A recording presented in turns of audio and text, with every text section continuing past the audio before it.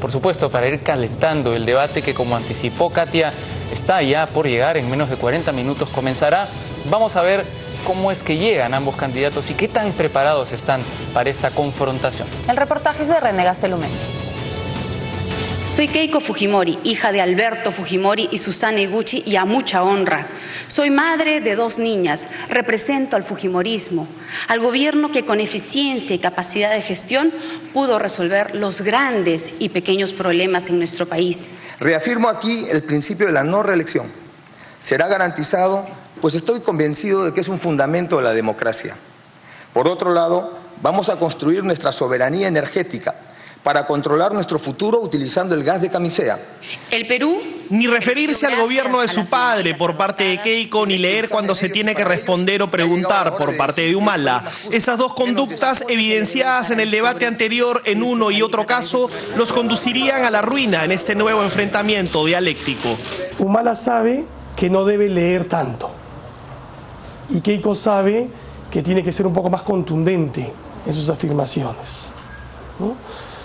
Y ambos saben que están a pocos días de las elecciones y las resistencias que ellos generan todavía no han sido vencidas para casi el 20% de los electores peruanos. Cualquier persona que esté indecisa ante, ante Ollanta y vea un futuro presidente que por segunda vez en un debate lee, eh, sería desastroso. Yo creo que eso es, ok, puede que no me guste la, eh, la, otra alternativa, pero vamos a votar por Keiko porque este pata no, no, no, piensa, ¿no es cierto? Lucha contra la pobreza, seguridad y narcotráfico, institucionalidad democrática, economía e inclusión social y preguntas ciudadanas. Cinco bloques de poco más de 10 minutos cada uno tendrán los candidatos en este debate decisivo, dado lo apretado de las cifras. Pero, ¿realmente será decisivo?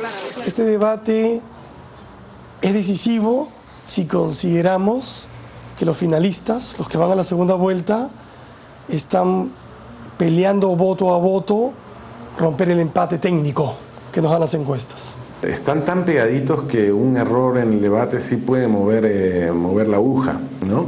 Eh, además, eh, te diría que estamos jugando con, con un porcentaje, los dos están jugando atrás de un porcentaje de indecisos entonces es gente que acaba posiblemente de decidir su voto por un lado o por el otro lado, pero no es un voto duro, es un voto que sí puede moverse de lado a lado. Entonces eh, yo creo que eh, en esas circunstancias este debate es decisivo. La polarizada coyuntura ha convertido esta confrontación en un espacio breve pero irrepetible para observar atentamente cada detalle de sus presentaciones, para ver a las verdaderas personas que hay detrás de los personajes. Si esta noche los candidatos eh, están más sueltos, menos pegados al libreto que tienen que preparar y están dispuestos al ataque y a la defensa argumental, se va a abrir un espacio interesante para los actos fallidos, para los lapsus, para los recursos inmediatos que uno no piensa mucho pero tiene que utilizar en el debate. Si sucede esto va a ser bueno. La capacidad de reacción y la manera de pensar y la forma de, de, actuar, que es muy importante a la hora de elegir un presidente, si te pones a pensar. O sea, ese es el tipo que va a gobernar el país, o sea, o la tipa que va a gobernar el país. es y así va a actuar frente a situaciones extremas. Cuando, cuando esté en situaciones en las que tenga que reaccionar, así va a, actuar, así va a responder. Esa va a ser su, su capacidad de cintura y de reacción, ¿no es cierto? En prime time y frente a un público tal vez saturado de información electoral, se prevé una intensidad y un intercambio que puede ser decisivo justamente para los votantes indecisos.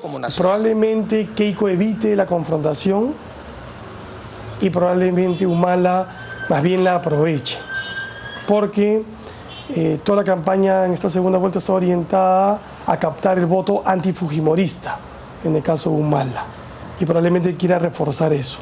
Pero a su vez tiene que captar a aquellos electores que no están esperando el voto antifujimorista, que están buscando razones positivas para votar por Humala lo comparaba con un round de box, con una pelea de box. Los primeros rounds van a ser round de estudios, vamos a ver quién saca la primera puya, vamos a ver quién dispara, y, eh, pero de todas maneras hacia el final va a venir lo más fuerte. Acuérdate, el debate siempre es así, en el final se trata de sacar la última carta, ¿no? ¿Te acuerdas del debate de Fujimori donde él sacó el, el diario impreso que siguió a salir al día siguiente y todo el mundo nos se quedó como, wow, ¿qué es eso? O el certificado de Alan García con Toledo. ¿Te acuerdas eso? Y la banderita, sí, siempre hay esas cosas este, hacia, hacia los finales de los debates que, que son eh, esperables en este debate de todas maneras. Como se sabe, son numerosos los asesores que tienen y preparan a uno y otro contendor.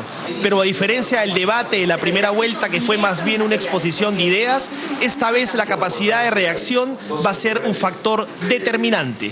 Oyenda tuvo dos cosas que yo observaría. La primera, que leía y nadie sabía si era su texto el que leía o el de otros.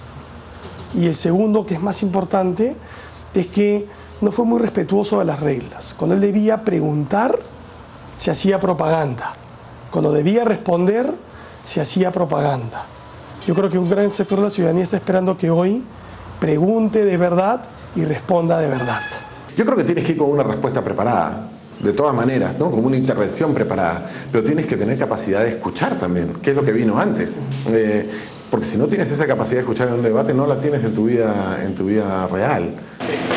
Las grandes contradicciones de fondo, como la real separación o no del gobierno de su padre en el caso de Keiko, o los cinco diferentes compromisos de Humala, podrían ser trampas mortales para ambos. Los fujimoristas están en el gran dilema de, por un lado, celebrar a su líder, que es Alberto Fujimori, porque eso les permite concentrar un núcleo duro de votantes, pero por otro lado necesitan diferenciarse de su líder para poder captar al resto de ciudadanos que no están de acuerdo con los grandes males que produjo el gobierno de Fujimori en los años 90. Keiko Fujimori esta noche va a tener que resolver eso de manera creativa. No es la primera vez de un mala, pero no es su punto fuerte. Entonces, sabiendo que no es su punto fuerte, debe estar con mucho estrés encima, ¿no? Eh, porque cuando en una entrevista el, entrevistador lo pica, pierde los papeles. Entonces, y eso lo ha notado, se pone nervioso, mira, se le timbra el labio y todo lo demás. Y ah, a punto de explotar. Yo supongo que eso el comando de Keiko lo sabe y va, a buscar picarlo y va a buscar que pise el palito y que pierda los papeles, ¿no es cierto? Y que deje de ser el oyante de camiseta blanca y pase a ser el oyante de camiseta roja, lo cual sería un error. Nos espera una hora y veinte minutos que pasarán a la historia electoral peruana para bien o para mal.